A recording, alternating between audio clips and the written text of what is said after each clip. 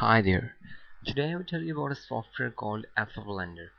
Um, it's a software that uh, give you transparency, uh, give your windows a transparency. Um, if just download it from the description that I have given below. Um, you, when you download it, it will give you a hard sign like that of a Blender exe, and you have to run the exe file. It's free. Uh, you just uh, double click it. Uh, okay, then you will get sorry double click it and the hard sign will come on your taskbar. Just uh, go to properties and there you go. Use control plus F1 11 and control plus F12 keys to adjust currency activity window transparency.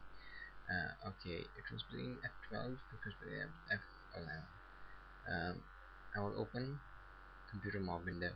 Okay and now I will press control F12 you can see that the window is transparent. And it's transparent. Now it has transparent. Now if you want them back then go to control F11 and we come back. Yeah? It's cool software you can have uh, lots of uh, high things. If you if you're working on a project or you're working uh, something really important and you have to go to somewhere for a, for a minute or so so you just hide it uh, so nobody can see you. Uh, sorry F control plus F11 so it's a cool software and basically it's free. So it's a very good software. I hope that you like it and you do use it.